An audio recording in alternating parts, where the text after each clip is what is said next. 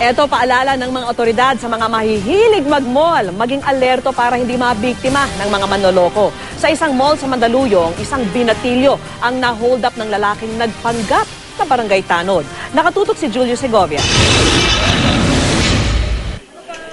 Ilang beses nang nai-repost sa Facebook ang kwento ng 17 anyos na binatilyong na biktima umano ng hold-upper na nagpanggap na barangay tanod sa isang mall sa Bandaluyong City. Kwento ng binatilyo, habang inihintay ang kasintahan sa mall, bigla siyang nilapitan ng isang lalaki.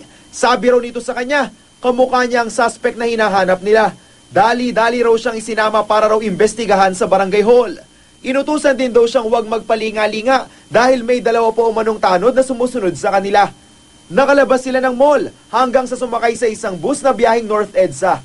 Sa loob ng bus, kinuha raw ng lalaki ang cellphone at isa pa niyang gadget. Pagbaba sa North EDSA, tinangay pa raw ng lalaki ang pera ng binatilyo bago tuluyang lumayo. Hindi na bago sa supermarket owner na si Steven Kuwa ang ganitong eksena. Karaniwan daw ang ganitong modus sa mga matataong lugar gaya ng mall at mga grocery store. Kung duda sa personalidad ng taong nagtanong o kumausap sa'yo, lumapit daw sa courtesy corner o info desk ng mall. Marami rin daw uniform guards na nakakalat sa mall, bukod pa sa mga nakasibilyan. Magtanong-tanong ako, kapag alam niyang medyo duda ka na, tumagal na, aalis na yon. Kasi that's why delay.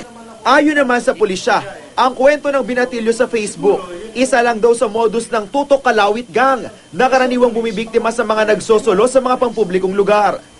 sumigaw ka, humingi ka ng atensyon mula sa mga kinaukulan, maaaring ah, sa mga ibang tao na malapit, sa mga security guard, at yun nga, kung may pulis, edi sa pulis. Pag lumalakad kayo in groups, huwag kang hihiwalay, di ba? Sabi nga nila, there is strength in numbers. Kung di maiiwasang magsolo sa mga lakad, manatili raw sa lugar na may mapagsusumbungan, maging alerto raw sa paligid, iwasang naka-headset habang naglalakad sa mga mall. Unang-una, maging aware ka sa surroundings mo, no?